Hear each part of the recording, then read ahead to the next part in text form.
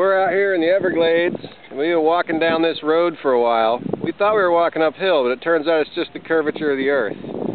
And we've been looking for natural things, and all we can find are these.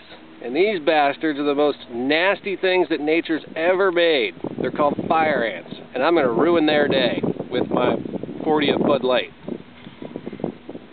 Ah, look at those bastards come out. They're pissed.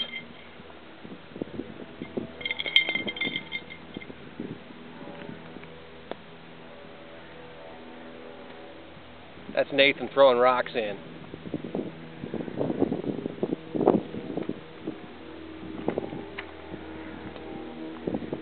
If you were to step in one of these by accident, it'd ruin your day. Go ahead, Nathan, step in it. Oh, come on.